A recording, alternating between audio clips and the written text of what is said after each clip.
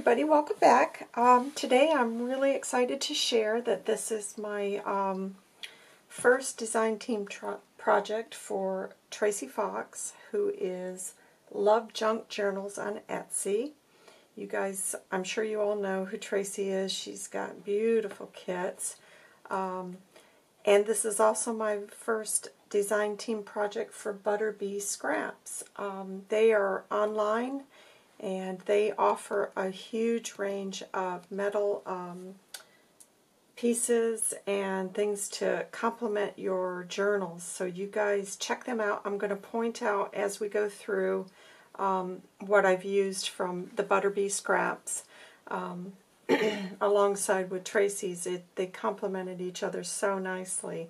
I've been using Tracy's um, kits for a while. I love them and um, this kit is no exception. It's the OhLa Chic.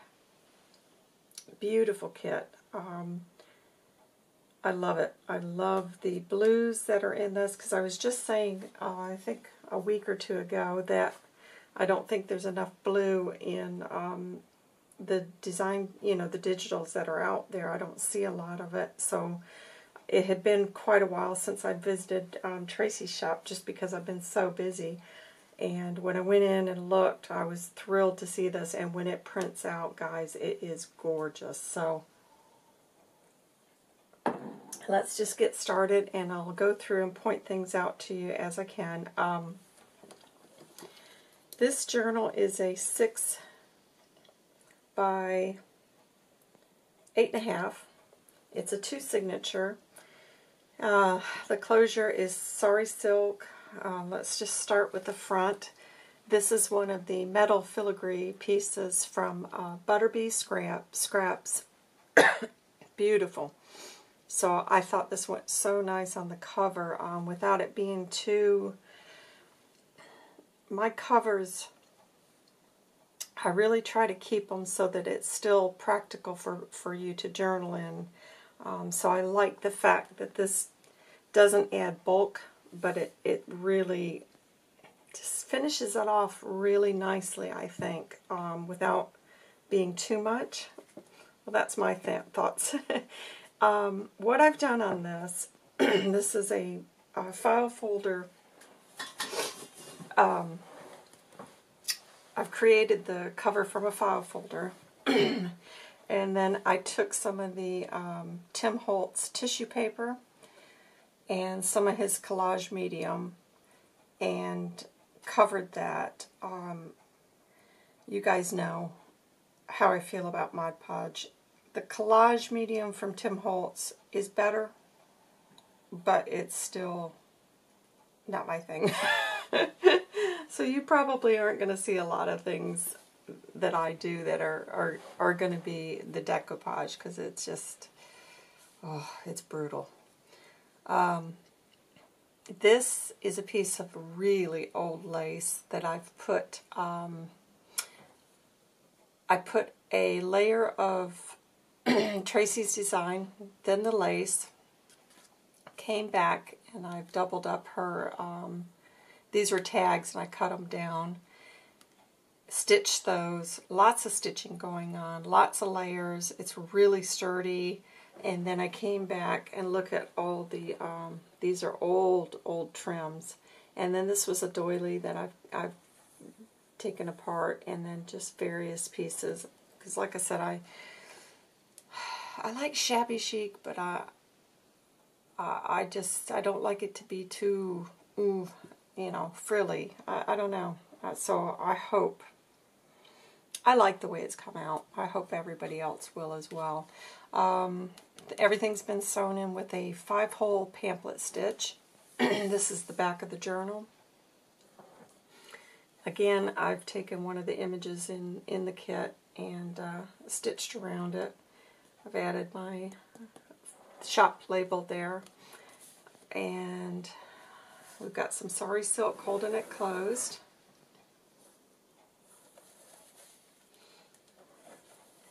I will put the links below for, um, you know, what I've used from Tracy's shop and what I use in um, the metal from Butterbee scraps, I'll um, I'll put the item number in the links below for those items. It was um, it's so fun to be working with um, with Butterbee um, scraps because it's um, something new for me and I do love uh, vintage looking pieces uh, within the journals. Uh, it's so yeah, I was delighted when um, when I got on their team. so anyways, here's the front. Uh, I just got to show you guys a side view of this. Isn't that delicious? Love that. Let me just say very quickly, I want to give credit for the uh, pages to Tracy Lyon, Lyon Woerner. She has a channel on YouTube and she recently did, in fact I will put a link to this tutorial. she did a link on how she does her layering of paper and as we go through I'm going to point those pages out to you guys um, where I used her technique. Otherwise, I've got this ruler and I, I tore every paper in here.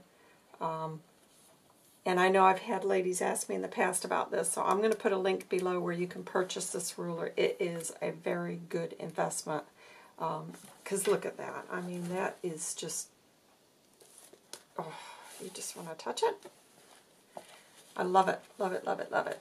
But I will point out the pages that um, that I used the technique from Tracy. So thank you so much, Tracy. I did I did ask Tracy if it was okay if if I um, if I you know used that, and she was fine with it. So um, I do want to give credit to her on those pages where I, I used her technique. All right, this is some more, um, now I don't remember which ephemera came in this kit, but I have used two of Tracy's kits in here, and I want to show you guys. This is the, the OhLa Chic is the main kit, and then I've used the Faux Ephemera kits, the vintage Faux Ephemera, and I don't I don't know if this is from that kit or if it was in with, because she does give you some ephemera with the um, OhLa Chic. So, um, and this is one of the tags from the kit, so that's awesome. And then here, I created, I love this, I love that. So I just made a little pocket out of that. I believe that's part of the faux ephemera kit. And then here I just created a little tuck spot. And this is just something from my own stash and this as well. Anything that I thought complimented the, the uh, journal. Um, if I don't say it's from Tracy's, then it's just odd pieces. Here I took some um, old receipts that I had uh, printed out a while back. I've layered it, stitched it on. I mean, you can't believe how much sewing is in this journal, guys. This is one of the envelopes Tracy includes. I've not glued this one shut because I thought you might want to use it for some journaling. But look at the images. Just gorgeous. Gorgeous, gorgeous. She makes uh, really, really pretty kits. She does. Um, this is a page. I just did some tearing. Um, and then I've added this um, comes with the kit in Tracy's kit. And then this was one of my old postcards, and I thought, oh, look at them. They look like they just come back from Paris. And I turned it over and it's uh, they've been to Liverpool. So they still look happy enough, don't they? So I've included that because that's an old one. I love it when they've got the old post dates on them. Here I've done a uh, handmade card uh, tag, sorry, and I've done some stitching, a lot of stitching in here, guys. Um, glassine pocket and just an old French receipt. I've ruffled it up so it looks really, really old. And then just another one of my, did a bit of collaging down here. And here as you can see, well, I hope you guys can see, what I did with every page is I've torn it and then stitched it to the tea dyed. So it's all tea dyed in here. You, you're not going to see any white in this um, journal. And this is uh, one of the pieces that comes in the OhLa Chic. And then just another one of my journal cards. this is one of the pockets Tracy gives you. And then this is, I believe this is part of her faux ephemera. You've got to get that one. Oh my gosh, has it got some gorgeous stuff in there. Um, because I've been wanting um, flashcards, vintage flashcards for forever. And I can't get my hands on them. Um, and if I can, I have to worry about the duty of them coming in here. Um, I took one of Tracy's background pages and I printed it onto vellum and it came out amazing. Look at that. So that's in there with a little tuck spot there. and I, I distressed with some ink along all the, the page edges as well. Look at that. That's another one of the pages from there. Here I just tucked in some little tag flips that I created. Um, for, and this page, what I did, I took one of those, you know how when you buy your doilies, um, to get the bigger ones, sometimes you end up, like from the Dollar Tree, you'll end up with these massive doilies. So what I, I you can't waste them, can you? So I took it, I stitched it to the um, tea-dyed paper, and then, and I I give credit for to Lori. Um, yeah, Lori. Oh gosh, for for oh I know I'll slaughter her name. Farusco, or I think that's her last name. Um, she is the beeswax queen, and so I, I I learned this from her. So then I took this and put my beeswax on it and melted it with the iron, and because um, I've got an iron that I only use for crafting and that oh my gosh I love it. And with the smell when you're doing that is such a amazing. And then over here see it bleeds through but you don't have to worry about that transferring on because it's beeswax and it's gone cold and all that. But I love the look of it. It makes it look so old. Um, here I put some more really old um, lace. Then in this um, this is one of my music sheet pockets um, and these come in the kit as well. So you've got those extra things for journaling on. Um, this is one of the pages um, that Tracy gives you a tutorial on, and I'm going to put that link below. She takes her um, baking paper and sandwiches it between, and I'm not going to go into detail because you can check her tutorial out. She can explain it better than I can but it's it's got the baking paper, then the tea dyed, and some old book page, and it so you got that nice crinkly sound when you're um, flipping through. Here I had an old um, uh, photo. It was a handmade paper photo album that I picked up from TJ Maxx. Gosh, probably eight years ago, and I never did use it, so I started tearing it apart and I just, um, because I want to save the paper because it is really, really nice. It's thick. You could do some mixed media on this with no problem. And uh, I just put some ribbon through so that just kind of flips out. I just thought it was really pretty with this because it looks very French to me. um, this is another one of the pages I, I used from Tracy's tutorial. Love that. Here I did... Um, some collaging on this little glassine envelope, and I've tucked in another little card from my, my stash of things. Um, this is one of the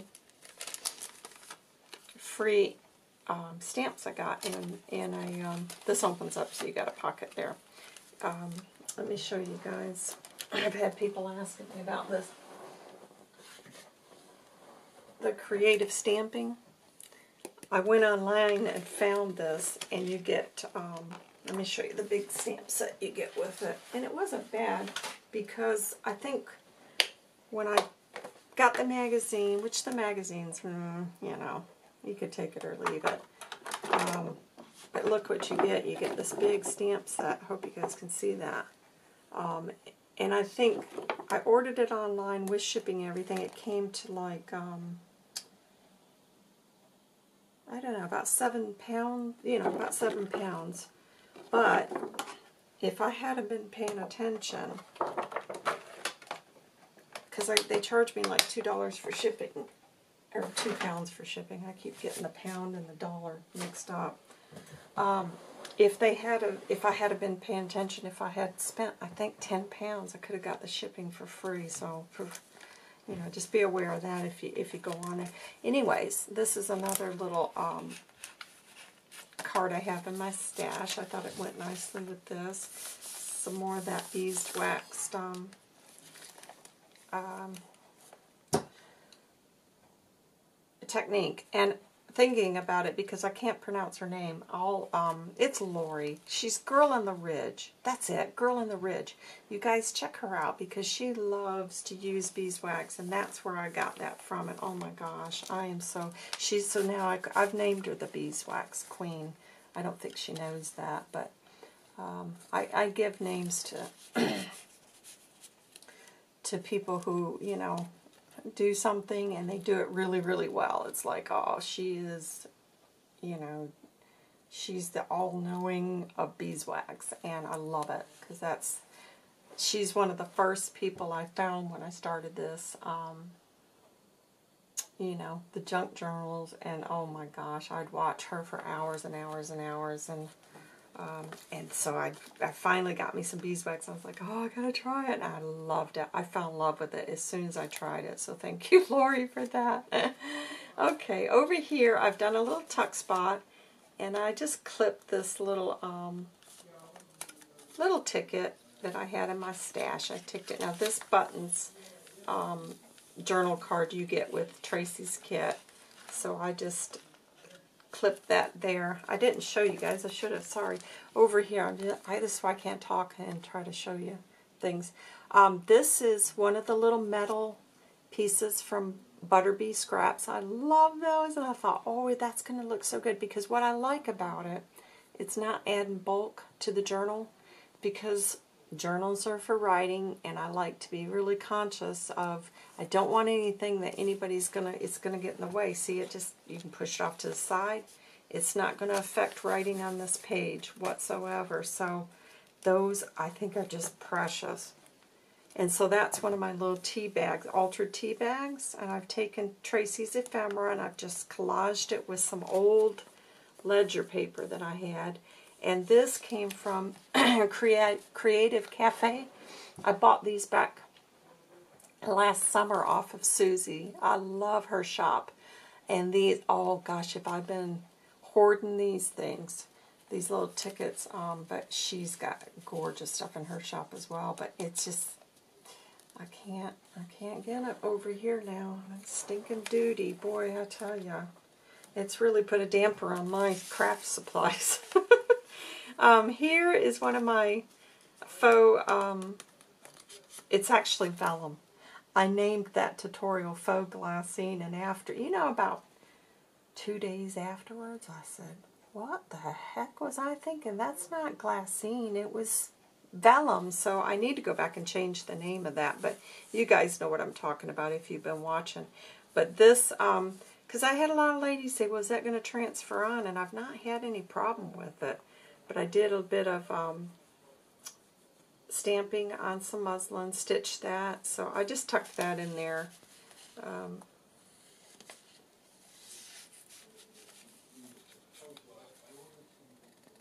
Uh, here's the back of those flip things. I got to get going. Goodness, I'm still in the first signature.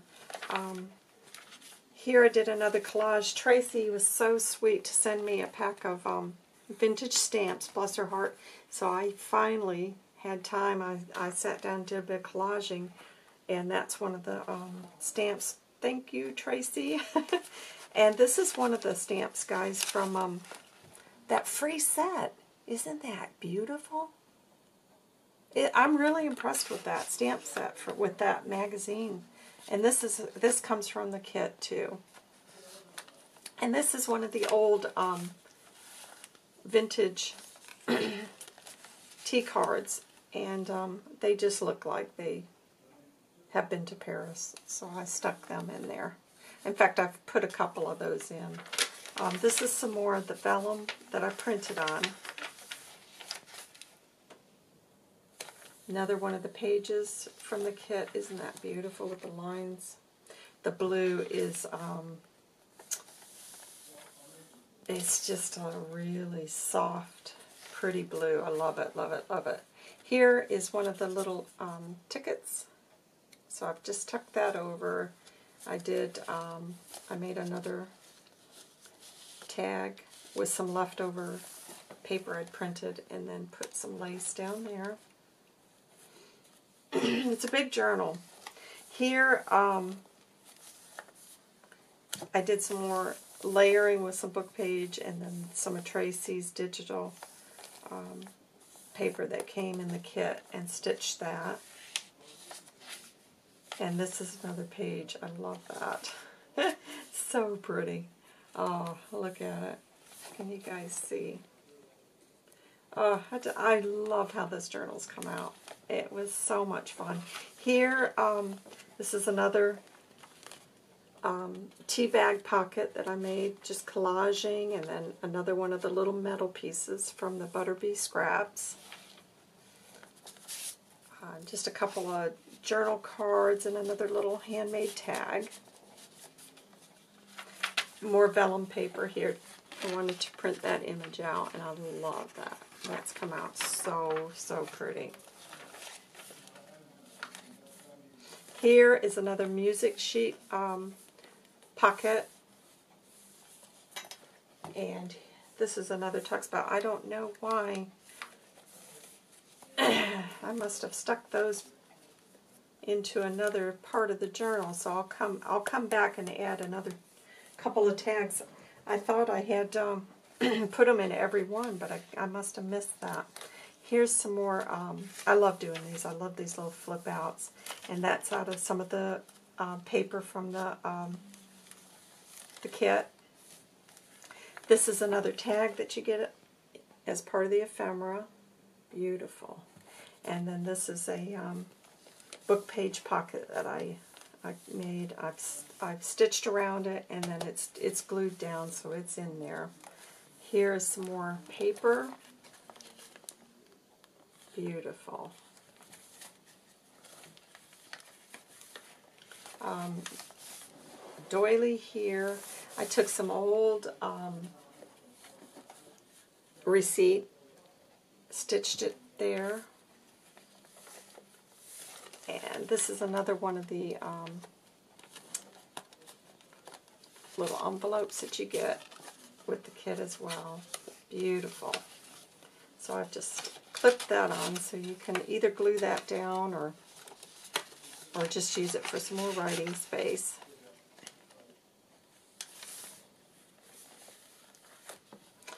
Okay, and then this this is another piece from the faux ephemera.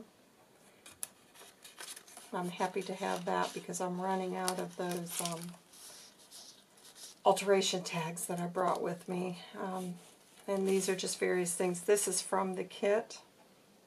And then these, I stamped this out from the Tim Holtz um, stamps. And this is another little um, pocket envelope. And then this is one of my butterfly. So you could you can move this throughout the journal wherever you want. And just a little bit of collaging there with some script washi. And this is another piece from the kit as well. Uh, another music sheet pocket. And here's, I love that page. That's the one I did on the vellum as well. And then another, I went ahead and put another one of these in the center because I just, I, I really like that paper. Um, and then that's the back of the music sheet pocket there. Another bit of uh, lined paper. And then on this one, this is one of the pockets that you get. Um, I've included another, this is a French It doesn't look like it would be Hotel Jose, but it is. When you look on the back, I'm pretty sure it's it's French. So I included that. And then this was something I found, and I just thought it, it just looked like it. It says artistic leather goods, but it looks to me like it should be from France. So I've stuck that in there as well. Um, this is another, um, I love these little bulldog clips that, um, this is Butterbee Scraps. She sent me these and I'm crazy about them. Um, they're nice bronze little clips and I love them. So that's been clipped in here. Like I said, the link will be below if you're interested in these. Those are so pretty. They're I prefer them to the Tim Holtz because these are the bronze and they are nice. Really, really nice little clips. Oh, I know what I was going to show you guys in here. This is just a floating pocket, but I've also included this. Um, this is a genuine um, check from the 14th of June, 1907, and it's got the stamp on there, I guess when they deposited the bank, you know, look at that for 10, 10 pounds. I guess, or maybe, yeah, I think 10 pounds, that's what it is. So I've put that in there. I picked that up at the flea market, um, gosh, I guess about eight months ago. So that's hidden in there. Um, but it just, it had to go with this journal.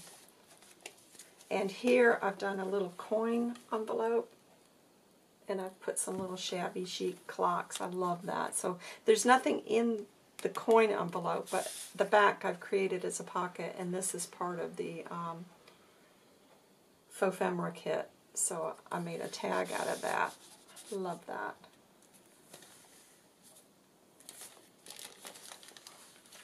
Lots of writing space still, but it is a big journal. Here I created, um, this is one of the pockets in the kit. I've added some lace. I've just made a little tuck spot here with a couple more. This is this is one of the ephemera pieces.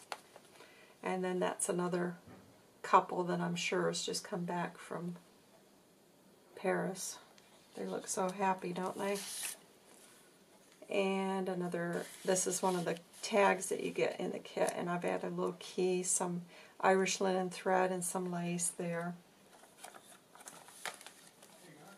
And here's some vellum that I've printed out on. And that's the back of the journal here. Um, here, uh, gosh, there's so much. I love that. This is all part of um, this ephemera kit, and then this is part of the um, OhLa Chic and this one as well. Look at that. I love that. So that's been tucked in there. This is part of the kit, so that's been tucked in. And then this, I love this. Nice big piece. Um, and this is why her ephemera kits are so, so nice. Another glassine bag with various things that I've just tucked in there. And then here I've done a really big pocket, so you've also got this massive pocket on the back where you can tuck things. Okay guys, there it is. It's pretty chunky, probably chunkier than I would normally bake, but I wanted to get everything in here.